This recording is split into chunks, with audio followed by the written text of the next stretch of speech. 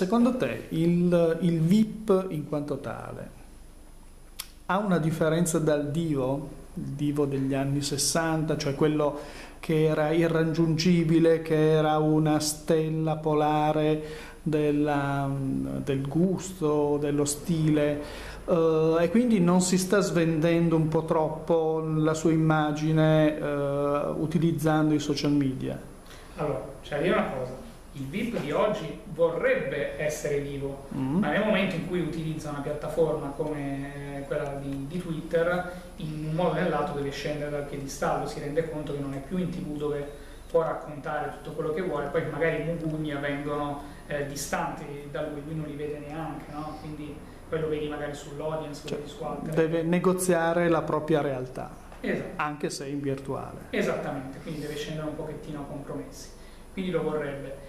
In realtà, eh, secondo me, però, nel momento in cui lo fa, non si svende, ma ci può solo guadagnare.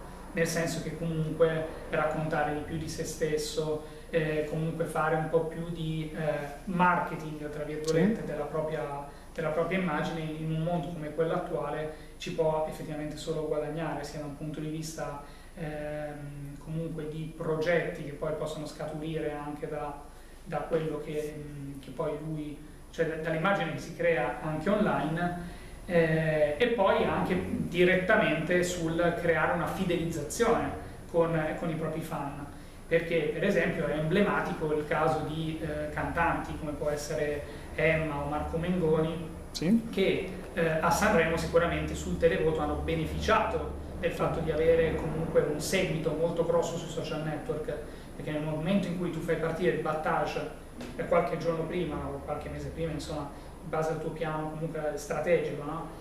e eh, li coinvolgi e a, a, mano a mano li attivi no? proprio nel sì. momento in cui ti servono, cioè di fatto aver creato un tuo bacino di fan, una tua community coesa che eh, si crea intorno a un interesse che poi sei tu. Certo. Fine, no? Rising o su quant'altro. Insomma. Quindi sfatiamo la leggenda che Twitter non muove il voto. Almeno il televoto lo muove. Beh, almeno il televoto, diciamo che se, per come la vedo io, i social network possono cristallizzare un tuo pensiero. Sì. Quindi nel momento in cui tu già sei un po' mh, comunque vorresti effettivamente portare a termine una certa azione, che nel caso dei VIP possa essere il voto, ma potrebbe essere un acquisto per le aziende e quant'altro, eh, diciamo il fatto comunque di andare online e sentire anche i pareri delle altre persone può rafforzare un tuo modo di pensare. Certo. Eh, ad oggi diciamo, non c'è alcuna analisi che dimostra che effettivamente la decisione la prendi grazie ai social network. Certo, quindi le conversioni le conversioni sono, ad oggi sono difficilmente misurabili. misurabili sì. Certo. E quindi possiamo anche parlare di VIP in politica. VIP in politica, assolutamente. Quali sono quelli che si muovono meglio? Ma allora, quelli che si muovono meglio paradossalmente sono quelli di fascia media, eh, nel senso che... Ehm, tipo comunque, Pippo Civati? Per esempio, ah. per esempio. Beh, lui diciamo che Pippo Civati conosce molto bene il web, quindi è, una, è uno di quei eh, politici che comunque è riuscito a muoversi bene no, nel, anche nella sua professione, sì. anche grazie comunque a quello, all'ascolto eh, dei cittadini online, quindi sicuramente lui è uno proprio degli esempi eh, di, di, politici. Diciamo che quelli che si muovono peggio sono quelli old style che arrivano dopo sui social media, lo vedono più come un qualcosa che va fatto, tra virgolette. Ehm, quindi devo dire poi si è parlato di tantissimo di social media politica, soprattutto nelle ultime elezioni, quindi certo. si sono creati due schieramenti, allora i social media spostano o non spostano i voti, eh, chiaramente ti ho già risposto come, certo. come, come la penso, e sicuramente i social media sono interessanti da due punti di vista uno dal punto di vista dell'ascolto, sicuramente riuscire, riesce ad ascoltare un po' meglio quello che pensano i cittadini. È una piattaforma sempre attiva, un focus group enorme che effettivamente se i politici utilizzassero nel modo adeguato eh, ci sono tantissime idee, tantissime voci che, andre- che potrebbero essere ascoltate e portate diciamo, nelle, eh, in Parlamento. Quindi... In regime di spending review potrebbero anche eh, economicizzare sulle loro attività di sondaggi. Sì. Assolutamente sì. Quindi abbiamo parlato di uh, VIP dell'entertainment, politici, ci sono anche i giornalisti. E i giornalisti cosa fanno con Twitter, i social media in genere? Si muovono bene, sanno utilizzarlo oppure devono fare dei corsi di recupero? Eh, allora, i giornalisti diciamo ci sono due schieramenti, ci sono i giornalisti che stanno un po' soffrendo i social network eh, perché li vedono come un qualcosa che di inutile poi sostanzialmente, no? qualcosa che sì. è un'ulteriore perdita di tempo. Invece ci sono quei giornalisti che li utilizzano come una, uno strumento per informarsi più velocemente, per arrivare direttamente alla fonte della notizia, eh, per scambiarsi anche opinioni, quindi eh, approfondire magari eventualmente un'informazione. Quindi diciamo che eh, qui non è tanto una questione anagrafica, cioè non sono i più giovani che sono più bravi dei, eh, diciamo del, dei più canuti, no? sì. eh, è più una questione comunque di, ehm, eh, di curiosità, come dicevamo anche prima, no? di curiosità verso il mezzo e di vederci effettivamente un valore aggiunto, perché poi chiaramente vivendolo ti rendi conto che per esempio creandoti le liste, no? seguendo determinati personaggi, sì. Determinati media internazionali, e quant'altro, effettivamente puoi fare un uso di Twitter che ti aiuta anche nel tuo lavoro quotidiano. E quindi su questo effettivamente un po' di formazione servirebbe, per come la vedo io servirebbe anche un po' di lavoro a livelli alti, proprio in termini di ordine dei giornalisti, di associazioni e quant'altro, per far capire che eh, in realtà non è più un qualcosa, i social network non sono più un qualcosa che puoi evitare, che sì. puoi lasciare da parte, ma anzi sono un'opportunità per te per evolvere un po' nella tua, ehm, nella tua visione della professionalità del, del, del, giornalista. E quindi da lì costruire perché chissà cosa arriverà in futuro. Qui è un processo che sappiamo dove siamo ad oggi sappiamo come era prima ma ancora non sappiamo come sarà il futuro. Quindi forse è il caso che appunto quella corrente di pensiero un pochettino poco alla volta si sposti verso l'altra Certo, ecco, e quindi visto che eh, stiamo parlando di pettegolezzi, inevitabilmente parlando di Twitter si deve parlare della madre di tutti i pettegolezzi che sono i fake. Che sono i fake? Sono i fake e sono anche i, eh, la, la campagna acquisti dei fake per far popolare i propri follower. Come si muovono i VIP in questo senso? Allora, in questo senso... È, è spinosa eh, la domanda, me ne rendo conto. Eh, sì.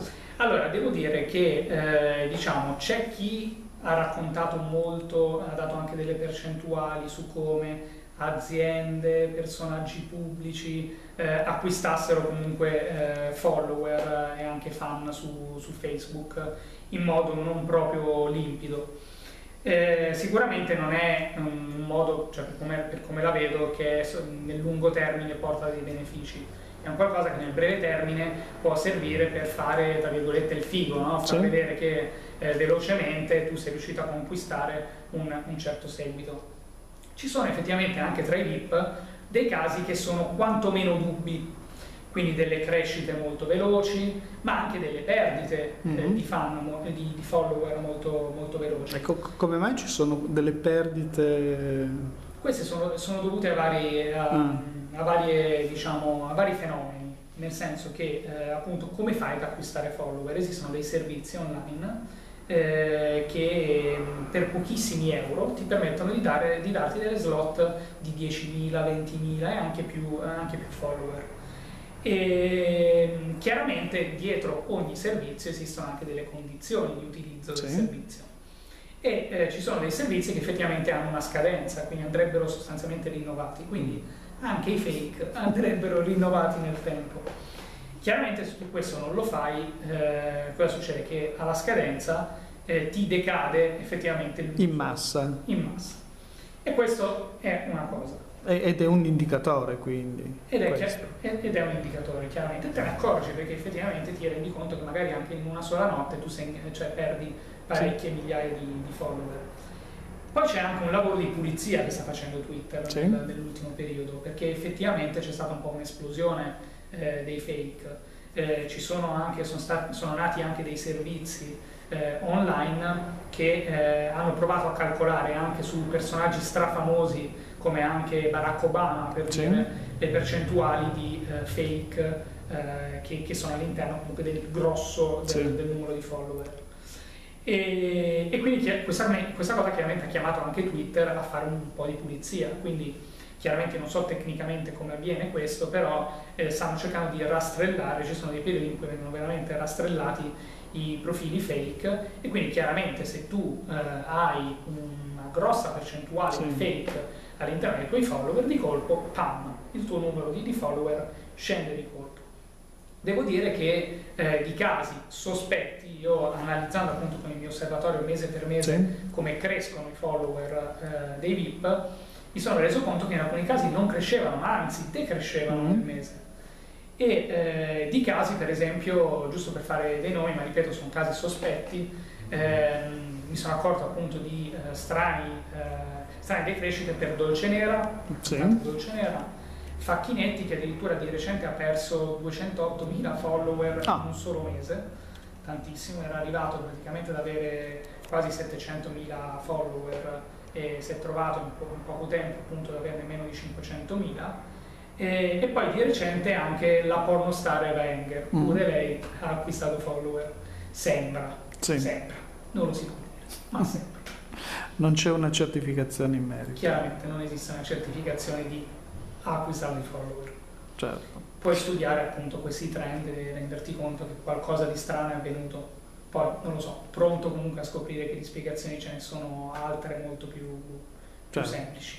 E invece i fake, ci sono, girano ancora dei fake di personaggi famosi? Sì, girano e c'è da dire che Twitter uh, permette i fake, mm. nel senso che eh, I fake vengono permessi da Twitter nel momento in cui sono delle vere e proprie parodie. Sì. Quindi essendo parodie non mettono in dubbio eh, di fatto la credibilità del VIP e eh, anche da parte dei, dei, dei, possibili follower è abbastanza chiaro che quello non è il VIP reale. Certo, come nel caso di Alemanno mi ricordo. Esatto, esatto, sì. come nel caso di Alemanno. Il caso di Alemanno è un caso per esempio molto divertente, un caso che comunque non eh, di fatto è stato molto seguito in rete, è cresciuto molto, molto velocemente, eh, però eh, appunto non è stato attaccato né da Twitter né in generale, penso neanche alle mani, si sarà fatto qualche risata, non sarà stato contento di alcuni tweet e quant'altro, eh, però sicuramente diciamo, era un po' meno a rischio. Sì.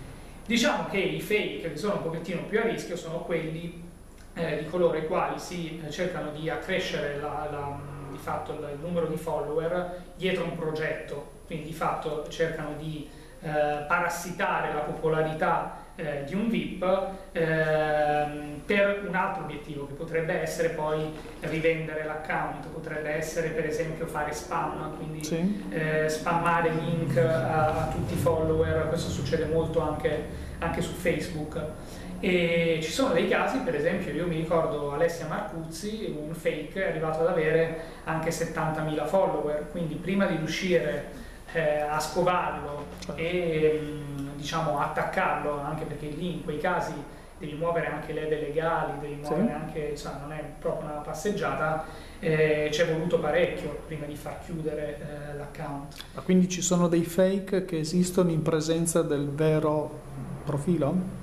Sì, diciamo che, eh, voglio dire, adesso è anche più semplice perché se prima era difficile farsi autenticare l'account, adesso esiste un vero manager in Italia eh, di Twitter, cosa che prima non, sì. non esisteva e eh, probabilmente le, le procedure sono, anche, sono, state anche un pochettino più sveltite, quindi ho notato per esempio nell'ultimo periodo un aumento di account ehm, di VIP con il, il simboletto no, del, del verificato. Eh, quindi in questi casi, per esempio, mh, mm, non ci si preoccupa perché possono esistere anche miliardi di fake, tanto non ti interessa. Più che altro magari devi monitorarli per vedere se quei fake non ledono in qualche modo la tua credibilità e la tua immagine, no? Eh, diciamo era un po' più difficile in passato perché in passato sicuramente soprattutto nel momento in cui appunto il BIP non aveva una reale presenza su Twitter eh, il fake era preso in molti casi come è come il vero, eh, sì. vero no? e quindi per esempio ci sono stati anche dei grossi sfondoni, prima si parlava per esempio del fatto della verifica delle fonti, sì. eh, quindi ci sono stati anche degli sfondoni anche di giornalisti che hanno ripreso ehm, una dichiarazione di un VIP come reale e poi in realtà era un fake Certo. e quindi sono chiaramente cose che non fanno bene appunto come dicevamo prima anche alla professione del, del- del giornalista. Certo.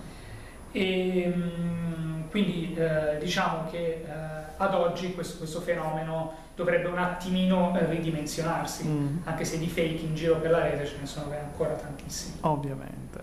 Quindi il- uno dei consigli che probabilmente avrai dato ai tuoi amici VIP è quello di presidiare la propria Sì. identità digitale. E nel caso in cui loro non avessero un'identità digitale, dichiararlo ove, ove possibile, nel senso Certo. se hai un sito internet, per esempio in molti decidono sul sito internet ufficiale a caratteri cubitali scrivere non eh, esiste un profilo ufficiale su Facebook, Twitter né nessun altro social network.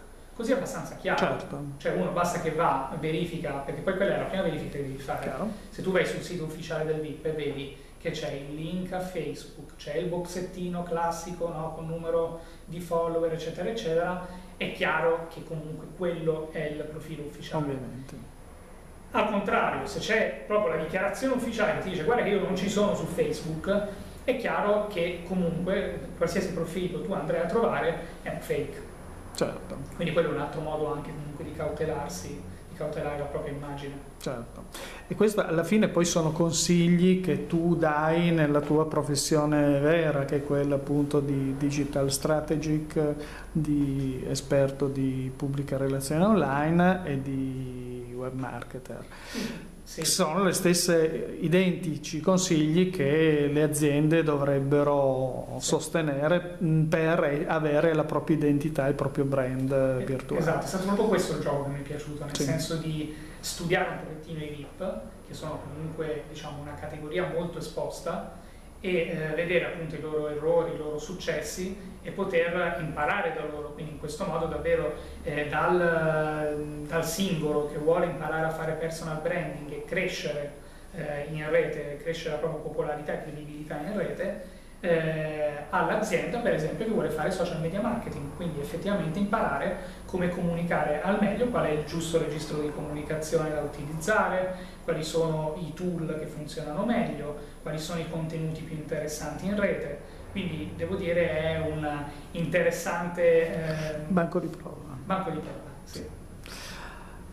Alla fine però un po' di, un po' di pettegolezzi bisogna farceli Dai. fra di noi, per cui perlomeno ci devi dire qual è secondo te il miglior profilo Twitter di VIP che esiste Allora, senza, in Italia. senza ombra di dubbio, Giovanotti, Mm.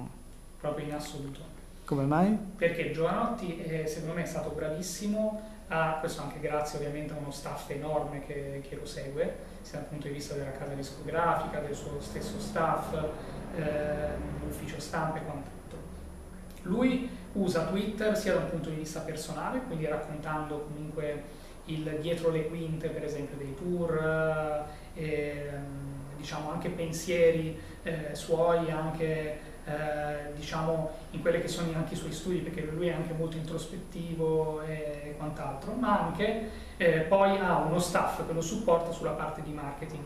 Quindi ci sono moltissime idee anche di sperimentazione che nell'ultimo anno ha portato avanti, come per esempio nel, nel caso del lancio dell'ultimo album Backup, Sì. e lui ha chiesto proprio ai follower di raccontare il ricordo legato ai suoi 25 anni di, di canzoni, quindi ha creato proprio un hashtag Java Timeline che è girato tantissimo. Oppure per esempio eh, lui sperimenta anche nuove piattaforme, quindi di recente proprio in tour sta usando Vine per Sì. postare dei brevi video di quello che succede appunto nel- nei momenti appunto dal soundcheck eh, alle prove e quant'altro. Quindi eh, per esempio questi sono altri, altri modi interessanti. Oppure quando ha raggiunto il milione e mezzo di follower Sì. Eh, ha deciso di fare un vero e proprio evento su Twitter, quindi in streaming per i soli follower. eh, ha diciamo con la chitarretta, si è Mhm. messo comunque a suonare, ha risposto alle domande dei follower, quindi e devo dire che trova sempre modi nuovi di coinvolgere la propria community, ma allo stesso tempo, senza essere ipocriti, anche fare marketing. Certo, quindi è un esempio da seguire. Assolutamente sì. E invece, questo è più difficile, il peggiore.